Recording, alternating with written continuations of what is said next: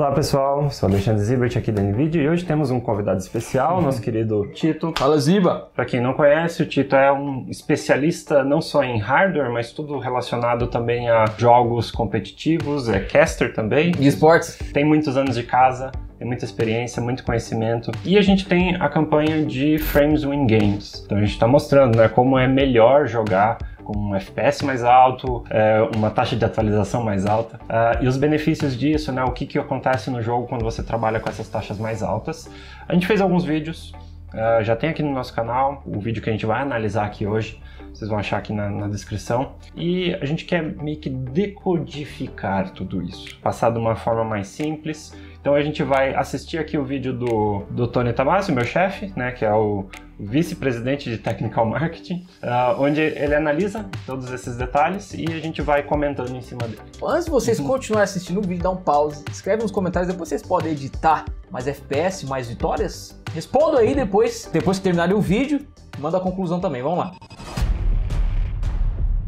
é, uma observação, é, lá na NVIDIA, lá em Santa Clara, eles fizeram essas capturas, né? O, o, jogo do exemplo aqui é o CS, mas um detalhe curioso é que eles usaram uma câmera de 1000 FPS. E 1000 é um número ideal porque a cada frame tem um intervalo de 1 milissegundo. Então a gente consegue, é, contando os frames entre diferentes coisas que acontecem né, no jogo, saber o tempo exato daquele que as coisas aconteceram. Vamos, né, seguindo o vídeo, a gente vai vendo, a gente vai pausando, a gente vai comentando, por aí vai. Vamos ver aí os fenômenos. And the benefits to latency, smoothness and animation. Before we dive into this in too much depth, let's first understand a couple of the fundamental concepts, that being frame rate, which is typically your GPU, and the display rate, or hertz, which is typically your monitor's ability to refresh the screen. É, que ele tá falando, olha, a gente vai analisar né, a relação entre a taxa, os hertz, né, que é a taxa de atualização do monitor, e os FPS, né, que é a taxa de processamento do sistema, né, não só da placa de vídeo, né, óbvio que a placa de vídeo é, é a parte mais importante, mas do sistema como um todo e qual a relação entre eles. Pode chamar Hertz a velocidade com que o monitor mostra as coisas pra gente. Olha que interessante a, o gráfico aí. Esse gráfico que eles querem mostrar é a taxa de atualização do monitor é fixa, ela é constante. Importa se o monitor é de 60, 144 ou 240 Hz. essa essa taxa é sempre a mesma, né? um, um valor né, desses, mas é, ela é regular. Enquanto que a taxa de processamento do jogo, né, do, da máquina, ela é variável. Né? Então podem ser mais ou menos do que a taxa de, de atualização do monitor, e o importante é que elas não necessariamente encaixam são sincronizadas uma com a outra. A gente vai entrar em detalhes sobre isso daqui a pouco. Essas variações aí são basicamente, né, a, a diferença de FPS quando você está andando pelo mapa, dependendo da situação que você está no jogo, né, que realmente varia. Tem hora que você está parado na base é 300, aí você vai jogar uma Smoke Molotov cai para 200, 180, isso é normal, né? Mas o monitor não tem como não ser constante realmente ali. Use render rate or frame rate. While it might average 60 frames per second, some frames are faster and some frames are slower and they don't perfectly align. Você vê, um, um detalhezinho aqui, mesmo que você tenha, por exemplo, uma média de 60 FPS, alguns frames demoram mais e outros menos para serem processados, mesmo que no total cada frame é diferente, é mais ou menos onde a gente quer chegar. Gaming, you want both of these to be as high as possible. O ideal é que ambos sejam o mais alto possível, então tanto que a máquina possa processar os jogos a uma taxa bem alta de FPS e o monitor também possa se atualizar numa taxa bem alta de hertz. Cenário dos sonhos. While this doesn't typically happen in the real world, this is a simplification we've made to help with the fundamental concepts and understanding.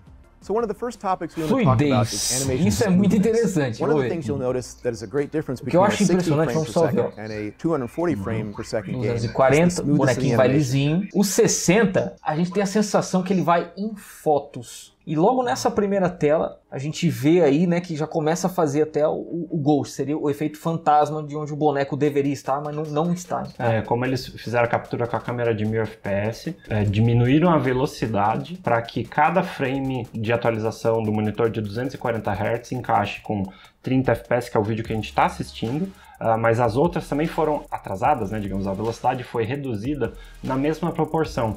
Então, assim, a gente pode ver, por exemplo, no, na imagem de 60 fps, que ele está aqui e depois ele está aqui. Enquanto isso, o de 240, ele, você vê aqui, aqui e aqui, no mesmo tempo. De vez em quando elas encaixam, porque é quando você tem a atualização né, do, do, supor, do de 60, mas o que dá para mostrar aqui, não só que a, a imagem é mais fluida, mas você até vê antes, né, porque você tem mais etapas no meio. Então a informação chega para você primeiro nos 240 Hz, tá chegando bem mais rápido, a gente consegue ver já essa diferença logo no início aqui. Fluidez que ele vai comentando aí.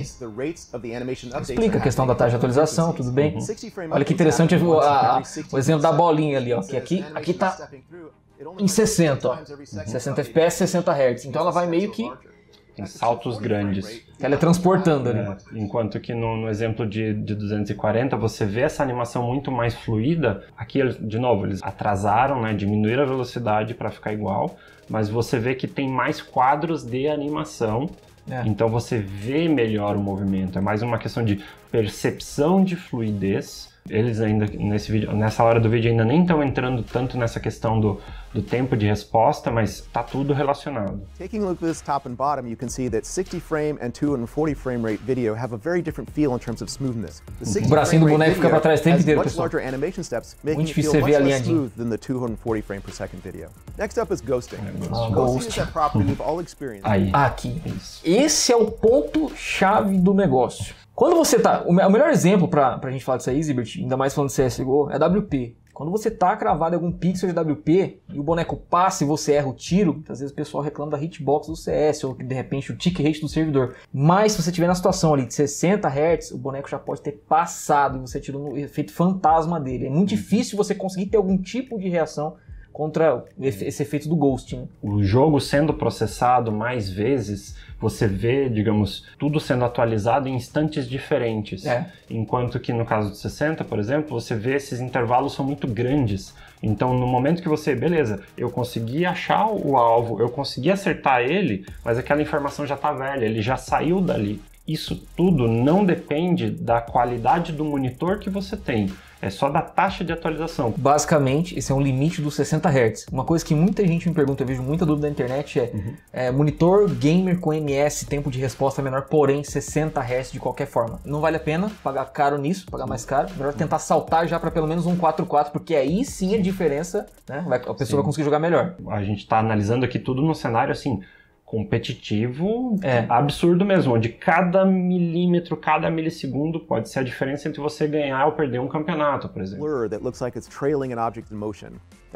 O rastro é muito grande mesmo. O 4x4 é bem pouco, existe, mas. O, um, é, ele é menor e também, digamos assim, é mais, apag... mais discreto. É. Né? Enquanto que 60, além de ser grande, você praticamente vê duas imagens ao mesmo tempo. Quase três, né? Ainda existe Ghost em 240, mas é bem pequeno. Aí o Terry. Vou dar uma pausa. O Terry é o seguinte: tem gente que abre o CSGO e roda em modo janela e dá muito mais quebra de imagem. Ah lá.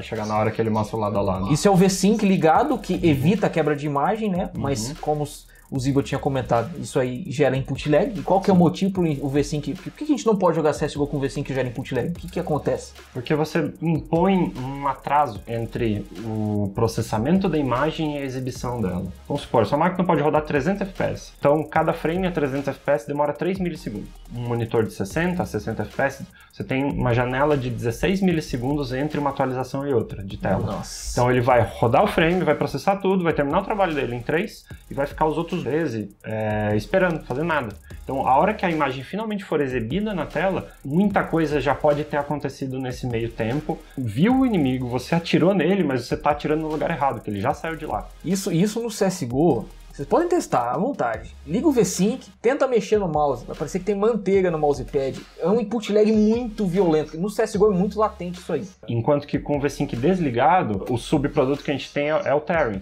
Então você tem ah, essa sincronia, né, porque você não está forçando a placa de vídeo a trabalhar na taxa do monitor. Ela está trabalhando do jeito que ela pode, no máximo de desempenho que ela pode, mas o monitor também não está se preocupando em exibir a imagem perfeita. Ele recebe o que a placa mandar. Enquanto ele está escrevendo a imagem, o frame já mudou. Então chega um frame mais recente em um pedaço da tela, enquanto que o resto da tela está mostrando o frame anterior. E onde atualiza primeiro a tela? Onde que aparece ela, primeiro? Ela varre de cima para baixo. Então, de cima para baixo. E o problema é que normalmente você está mirando o alvo que está longe. Então normalmente ele está tipo na metade superior da tela. Então assim você fica meio que preso a informação essas, essas duas opções. Geralmente num cenário competitivo, ainda assim é melhor jogar com o V5 desligado porque você tem um tempo de resposta melhor. é porque essa questão, todo mundo realmente joga com V5 off, CS, FPS tem que estralar, uhum. tem a quebra de imagem, no 240 Hz acontece menos, mas todo mundo vai estar jogando nas mesmas condições, né? Isso é muito louco, olha só. Mas aqui ele explica né, a diferença entre o tearing a 60 Hz e o tearing a 240 Hz. Então, da mesma forma que a gente via o boneco se movimentando, digamos, naqueles saltos grandes em 60 FPS em 240, né, 144 pelo menos, mas principalmente em 240 porque é um múltiplo de 60, você via ele se movimentando em saltos bem menores, então isso se reflete no, no tearing também. O tamanho do corte quatro vezes menor. é um quarto porque a taxa de atualização é quatro vezes mais alta. E aí você tem a sensação do jogo estar tá muito mais liso. Muitas vezes ah, eu já recebi muita mensagem assim: a pessoa tem 60 Hz, a 300 FPS, fala não está liso o meu jogo. Então, pela quebra de imagem. Mesmo que o V5 esteja desligado, você fala eu mal percebo o Terry. Porque eu já tive, pessoal, tive 60 Hz, era um 1600 por 900 de resolução. Uhum. Depois eu fui para um 120 Hz Full HD, eu senti uma diferença bem bruta, assim, né? E hoje eu tô com 240. Quando eu fui pro 240, a sensação de ser tudo mais liso, do rastro do mouse, é muito. é mais agradável aos olhos. No desktop mesmo, você é. sente o mouse mais conectado. Sente. Né? Porque você vê aquilo tudo acontecendo num intervalo menor. Olha só. Uhum. Aqui um exemplo. Nossa. Um exemplo é, prático, né? Também naquele efeito com as capturas a 1000 FPS, que a gente consegue ver, olha só, o tamanho do corte, né? O bloco. A, a linha de corte está bem aqui. Então, isso é um frame anterior, isso aqui é o frame posterior. Em 240, né? É um quarto do tamanho do, da diferença entre os frames é, no isso aí, caso 60 Hz. Isso vai explicar muita coisa para muita gente. A gente até agora não tinha oportunidade de monitorar esse tipo de coisa desse jeito, cara. A gente já tinha uma ideia de mas que, não sabia como funcionava, mas não sabia exatamente como. E agora, olha só a diferença na quebra de imagem, é muito grande. Isso que faz parecer que você tá lagado jogando, mesmo com FPS alto a 60 Hz. Tears on the top are much smaller than the tears at the bottom at 60 Hz because the animation steps Muita diferença. Em 4.4 ainda acaba sendo bastante, cara. Quando, quando a gente vê assim, olha só a movimentação. Our final topic is system latency, is a bit more de resposta. Para mim, isso aqui é a parte mais importante. Um detalhezinho aqui que é muito legal, é esse teste aqui que eles fizeram, pegaram o mouse, dá pra ver que tem dois fios aqui, ó. Uhum.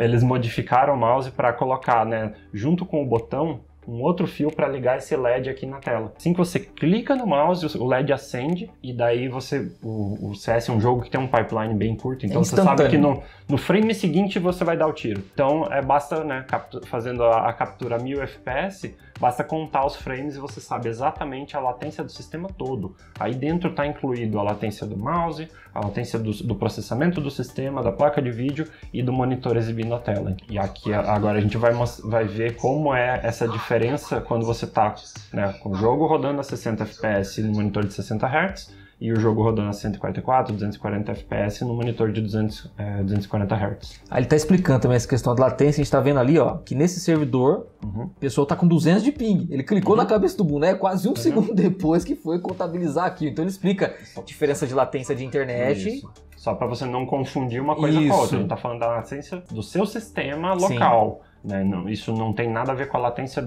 até o de servidor, internet. por exemplo. Ele fez questão de explicar isso uhum. para não confundir com a internet. Taking a look at our game pipeline, we have a 60 frames per second example. Isso aí. Aqui, um exemplo, né? A gente tem 60 FPS, então imagine que o começo aqui do C e o final do D é um frame, então isso demora 16 milissegundos. E ali dentro você tem o processamento da CPU. Então, o que, que o processador vai fazer para o jogo? Ele vai ler a posição do mouse, vai ler as teclas que você está apertando, vai receber o pacote de rede mais recente e vai atualizar o mundo do jogo e daí ele vai passar essas informações para a placa de vídeo, aí entra ali no G, né, que é da, da, GPU, e ela vai montar a imagem e depois passa para o monitor, que é o D ali, que é o tempo que ele vai imprimir a imagem na tela. Então tudo isso, né, a 60 FPS, 60 Hz, o sistema todo tem que fazer isso tudo antes da próxima atualização do monitor. Assim a gente consegue atingir os 60 FPS, beleza? Só que quando você passa para uma taxa mais alta, deixa eu até adiantar aqui. Vamos ver aqui.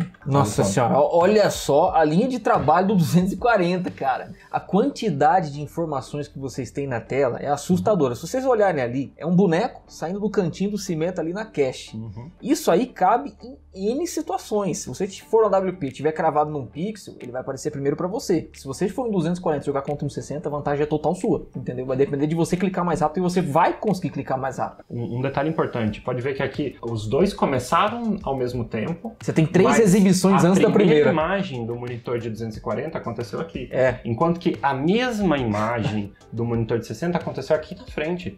Só que naquele instante de tempo, o cara que está vendo a 240, ele já está vendo o boneco mais na frente. Mais na frente. Né? Porque você tem mais oportunidades de atualização do cenário de jogo e elas todas acontecem em intervalos menores. Using a single frame as an example, we have a fast system here on the top and a slower system on the bottom. Aquilo ali é o tempo que você consegue processar um frame completo né? E aqui em 60 é o tempo que demora para processar um frame completo. É muito mais. Então, assim, as imagens são as mesmas, mas aquele lá terminou muito antes, então ele já pode começar a trabalhar na próxima. Ele vai fazer quatro vezes isso, enquanto esse aqui só fez uma. Fast system here on the top and a slower system on the bottom. They're é muito grande a diferença, eu não imaginava que fosse tanto assim não. É muito grande. The fast system is producing CPU work, GPU work and display work sooner than that slower system doing the same work. Um outro detalhe, né, que como as barras são mais curtas, isso significa que você também precisa de um hardware mais potente para é. rodar aquilo ali. Com 16 milissegundos, né, 60 FPS, a sua CPU pode demorar X tempo para processar cada frame. A 240 você precisa também de uma CPU, de uma GPU mais rápida para conseguir fazer o frame naquela, naquele espaço de tempo, né? São 4 milissegundos ali, Sim. tanto a GPU quanto a CPU. O importante é os dois estarem de acordo, os dois sejam rápidos o suficientes para atender aquela taxa. E para 240 Hz no CSGO não é qualquer computador, né? Porque o uhum. que acontece? Se cair de 240 FPS, você vai perder a parte dessa vantagem. Você vai perdendo. Se vai numa trocação, ou então cravado no pix está 180, você não vai ter toda essa vantagem. É interessante ver que dá o Ghost ali. Dá o Ghost sim, no sim. 60, cara. É muito nítido. Mas olha a diferença da, da cabeça do boneco, é muito olha grande. Só, isso aqui acontece no final do tempo de processamento de um frame de 60. Então, o de 240 já avançou dois, três frames, né? Você já está vendo uma informação mais recente, enquanto que o de 60 vai ser teletransportado daqui a pouco aqui para frente, ó. Ele chega a, acompanhar, chega a tocar, olha só. Olha lá, é fotos.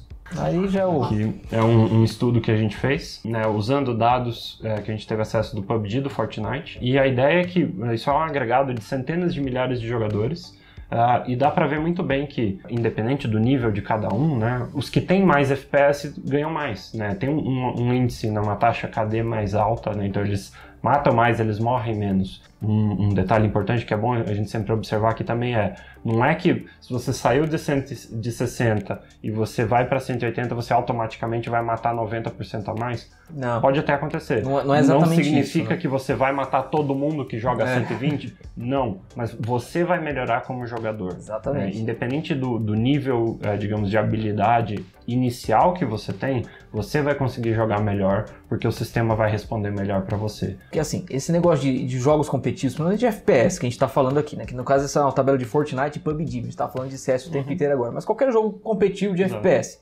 sempre vai haver um momento que você vai chegar numa barreira que você não vai conseguir desenvolver mais o jogo. Isso aconteceu comigo com monitor, com mouse, teclado, mousepad. Eu já saí de 60 Hz, fui pra 120, hoje eu tô no 240. As melhores sensações que eu tive jogando CS é FPS estralando, 300, 400 e o monitor 240 Hz, cara. Foi a melhor uhum. coisa, assim, para realmente mudar o nível. Mas, e a galera Ziba? Hum. O pessoal que respondeu no começo do vídeo, mais FPS mata mais? Tem um estudo, isso aqui é... é... interessante observar que, assim, quem joga CS, por exemplo, há muitos anos, sempre meio que soube disso, Sim. né? Você fala, eu sei, tá ok, eu preciso de um FPS alto que vai me dar um ping mais baixo, vai me dar um tempo de resposta mais baixo, eu vou jogar melhor. O interessante disso aqui é que agora a gente tem como provar dados concretos para comprovar que isso acontece e a gente mostrou também analisar por que isso acontece, né? Você vai querer começar a jogar 5, 10 horas por dia? Investir no 240 também vai te ajudar. Às vezes o cara é uhum. casual, mas começa a jogar uma lobbyzinha, tem uns campeonatinhos que vale algumas coisas, vale a pena o investimento, uhum. vai te trazer retorno, é basicamente isso aí. Né? Mais FPS, ganha jogos? Tá aí a resposta, ganha.